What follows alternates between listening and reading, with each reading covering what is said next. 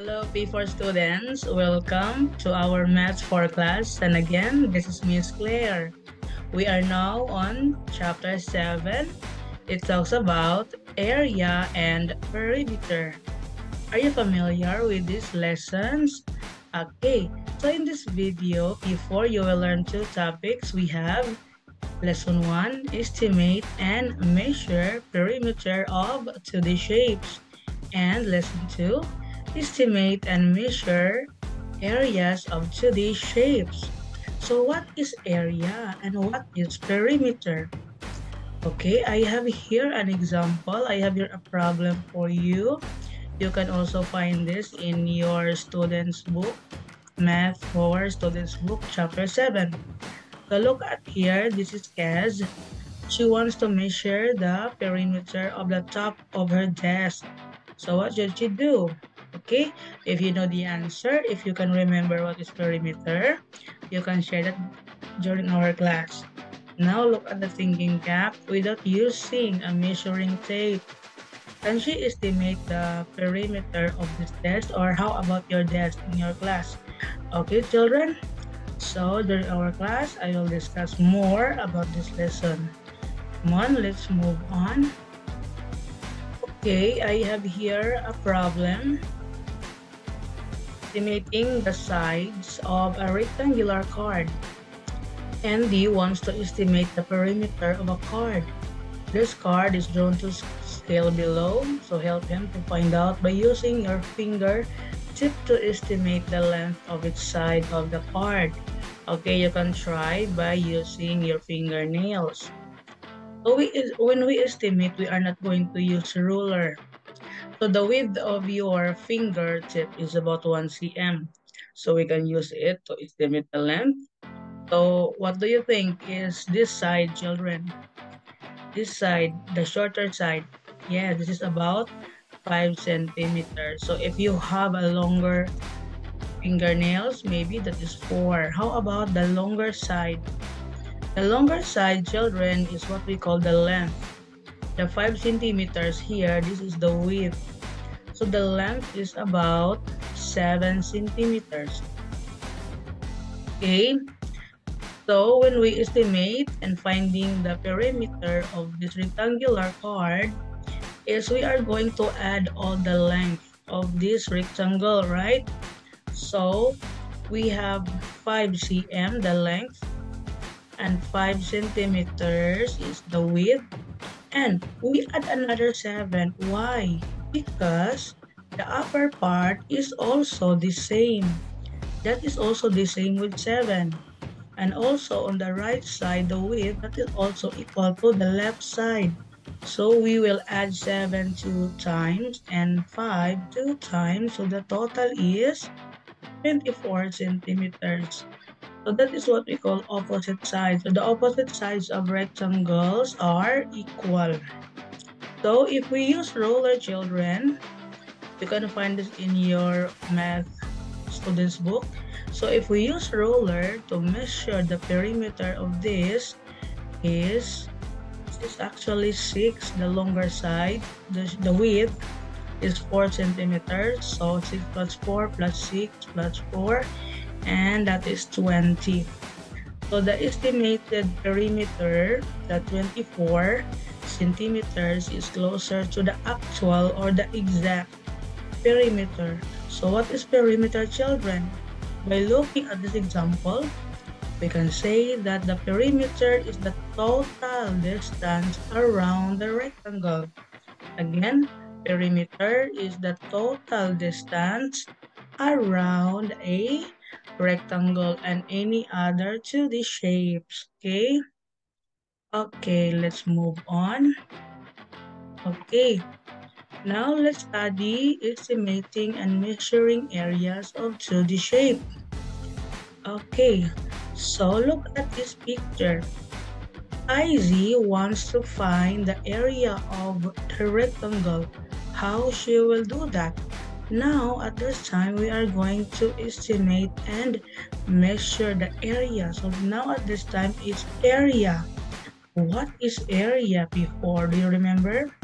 So look at this rectangle. It is inside in a grid, right? So how will we find the area of this rectangle? Okay, stay tuned as I will discuss this. We will go back to that problem later, okay? Or during our class. Now, how would uh, you estimate the area of IC's rectangle before we find the actual area? So before we find the actual, we are going to find also the also going to find the estimate or we are also going to estimate the area. Okay, let's find the area of a rectangle. Aimee traces the outline of her eraser on a 1 centimeter square grid.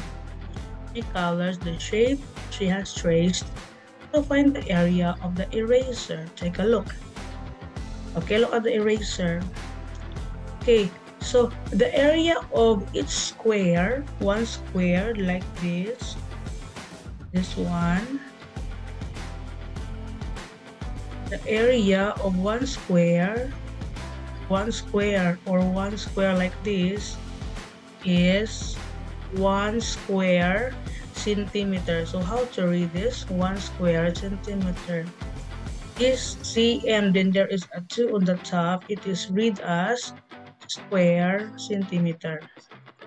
So this is 1 square centimeter. Now look at the eraser. How many squares is it inside in our grid?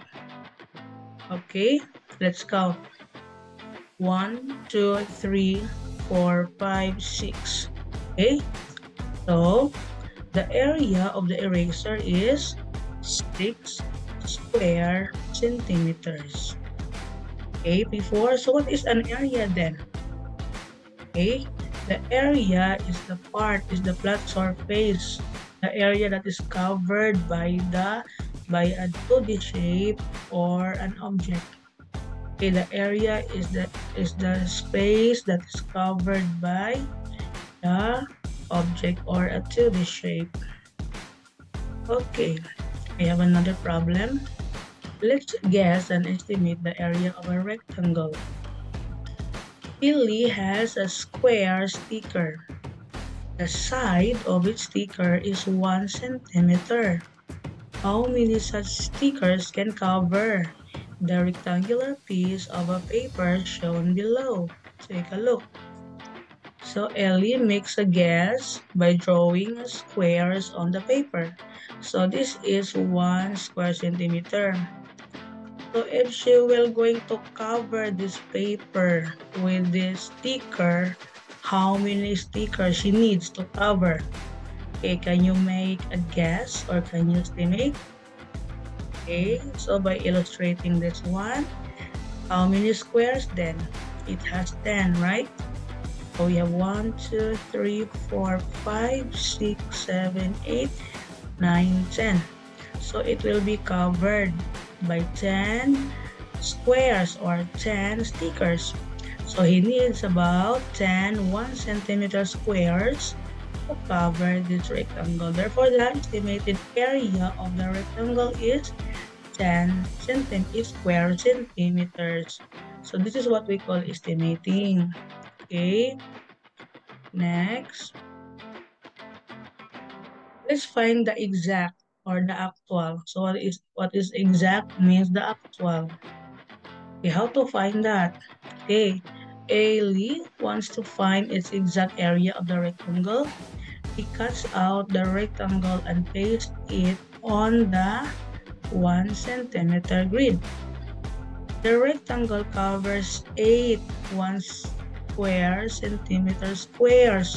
So earlier the estimated is 10 but at this time is only 8. So the area of 1 square centimeter 1 square is 1 square centimeter. Therefore the area is only 8. So there are only the area of this rectangle is 8 square centimeters. So again children, what is area? Area is the space covered, the flat surface covered by a 2D shape or an object that is an area. Okay, let's move on. Okay, now let's find the total area of carpets. So I have another problem. Aini and Ellie have two carpets. The carpets have areas of 8 square meters and 10 square meters. Okay, they join the carpets without overlapping. Then, they show the area of its carpet on a square grid. Okay, so like this. So they, they connect these two carpets. So how much space will both the carpets occup occupy on the floor? Okay, take a look. So the first one, the green carpet, one, one, two, three, four, five, six, seven, eight, and the other is 10. 1, 2, 3, 4, 5, 6, 7, 8, 9, 10. So, what is the total? Yes, it's 18. So, the area or the space covered, occupied by the two carpets is 18 square meters. Okay. So, so this is the calculation for this. So area of the green carpet earlier is 8, right? Then the orange is 10. So we will just simply add them.